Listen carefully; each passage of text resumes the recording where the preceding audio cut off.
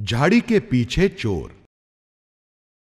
एक दिन रामन अपने बाग में पौधों को पानी से सींच रहे थे। जब वो एक झाड़ी के समीप आए तो वहाँ उन्होंने एक चोर को छिपा हुआ देखा।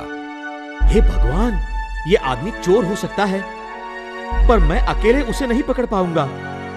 अगर मैं चिल्लाऊँगा तो वो भाग जाएगा।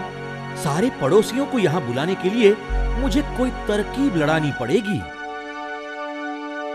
चतुर रामन ने मन में एक योजना बनाई। उसने अपनी पत्नी को बुलाया। लक्ष्मी जरा पानी ले आना। अभी लाती हूँ पर किस लिए चाहिए?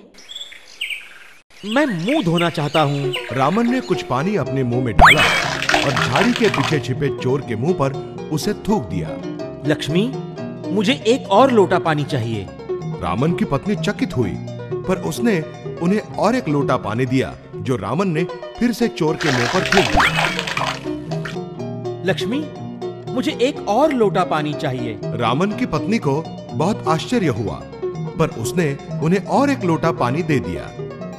क्या हुआ आपको? ऐसा क्यों कर रहे हो? रामन ने कुछ उत्तर नहीं दिया पर इस बार उन्होंने पानी को पत्नी के मुँह पर थूक दिया और फिर जैसा उन्होंने सोचा वैसे ही हुआ। उनकी पत्नी चिल्लाने लगी। हे भगवान ये आप क्या कर रहे हैं? अरे सुनो सब लोग यहाँ आओ। देखो ये पागलों की तरह व्यवहार कर रहे हैं। उसका शोर सुनकर सभी पड़ोसी वहाँ आ गए। लक्ष्मी ने सबको पूरी बात बताई। रामन आपने अपनी पत्नी के मुँह पर पानी क्यों थूका?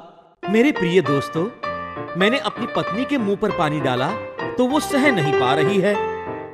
पर इस झाड़ी के पीछे एक आदमी है, वो तो बहुत ही सहन कर रहा है। मेरे बार बार पानी डालने पर भी वो चिल्लाया नहीं। पड़ोसियों ने झाड़ी में छिपे चोर को पकड़ा और उसे राजा के पास ले गए। रामन की पत्नी और पड़ोसी ये समझ गए कि रामन ने चोर को पकड़ने के लिए ही ये नाटक रचाया था।